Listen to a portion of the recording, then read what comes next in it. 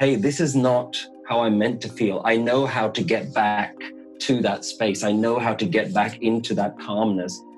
You don't want to learn how to swim the day you fall in the pool or the mm. day you fall in in difficult waters Yes. you need to learn how to swim every single day so that when difficulty comes you know how to swim across and the same is true for practicing peace like every day we need to practice being in a state of tranquility and stillness and calmness within us and what it allows you to do is it creates this baseline within you i call it your new default. Like most of us who Yeah. don't have a spiritual practice, the default state is to be in the mind, always worrying, always thinking, always listening to the first thought that your mind says and Believing it.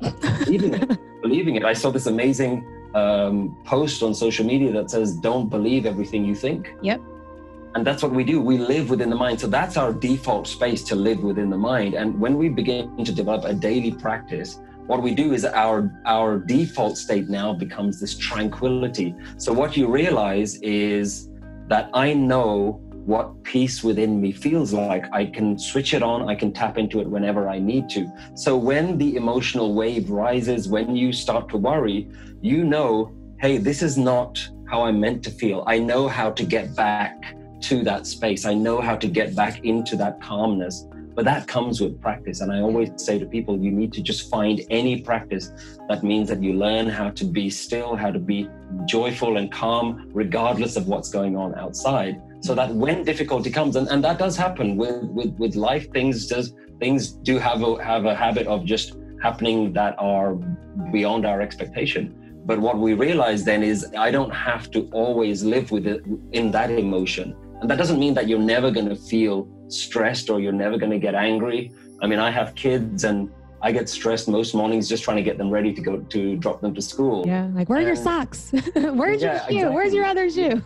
yeah, I mean, we have to remind them to pack their bags and and and even though we might have told them 10 times, we take on the stress Yes. of that. And so so you do go through those those emotional roller coasters, but what it means is I think when you have a practice is that you don't stay on those highs and those lows. You come back to that kind of tranquil middle Exactly. which is something that you just learn how to go back to your default state. Yeah.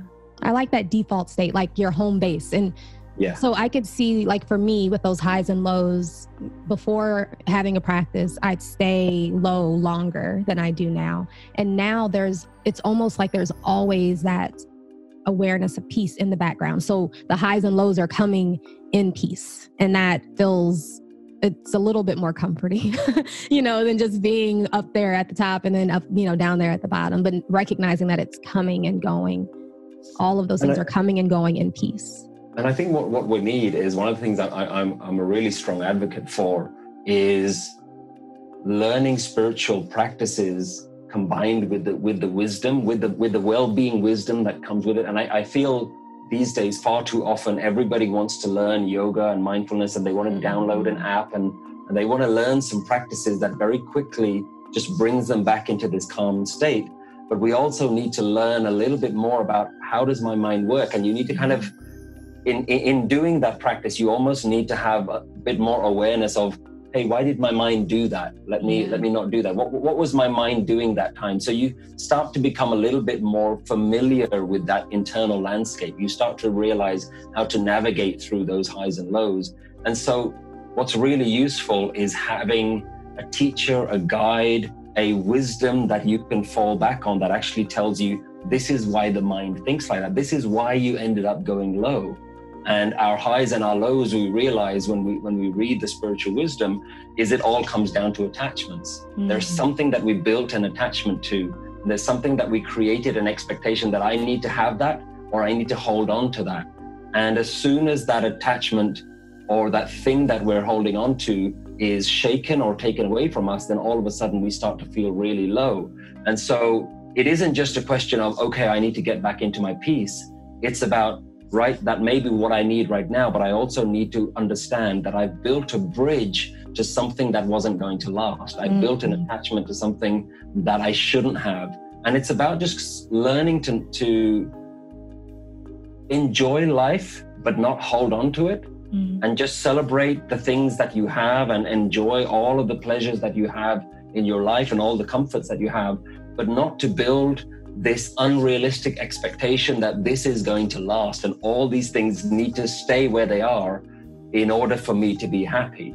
And it's not just about learning how to be peaceful, it's about learning how not to create those attachments in the first place. That's beautiful. And that only comes from wisdom. So tell me how that looks, you think, for folks um, across the board. I know that we all have our different traditions and our backgrounds, but is there something that you think um, would help that's more universal? Yeah, I think for me, when we look at the nature of suffering, when we look at why do we go down these these lows, what the key word that sticks out for me is resistance. Mm. And one of the things that I've learned that's a universal truth with all human beings is we hold on to things.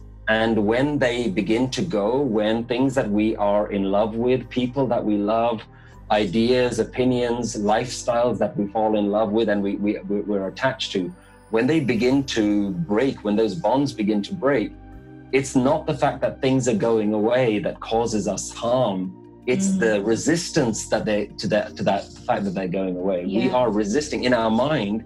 We're not flowing with life. We're not just allowing life to flow as it is. There's a beautiful phrase that I that I absolutely love to live by, which teaches us the power of acceptance and teaches us, reminds us how to be in acceptance. And the phrase is, if it comes, let it come, and if it goes, let it go.